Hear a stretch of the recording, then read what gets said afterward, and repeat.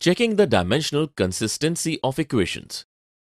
The principle of homogeneity of dimensions states that if a physical relation is true, then dimensions of each term on both the sides of the equation are same.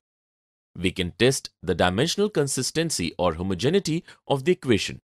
S is equal to ut plus half at square, where u is the initial velocity, v is the final velocity, a is the acceleration, s is the displacement and t is the time in which the change occurs.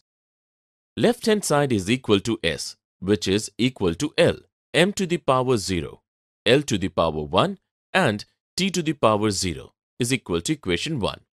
Right hand side is equal to ut plus half at square, which can be written ut plus at square as 1 upon 2 has no dimension. Dimension of ut is equal to m to the power 0, l to the power 1 and t to the power 0. Dimension of at square is equal to m to the power 0, l to the power 1 and t to the power 0. So, dimension of RHS is equal to m to the power 0, l to the power 1 and t to the power 0 equation 2. From equation 1 and 2, LHS is equal to RHS.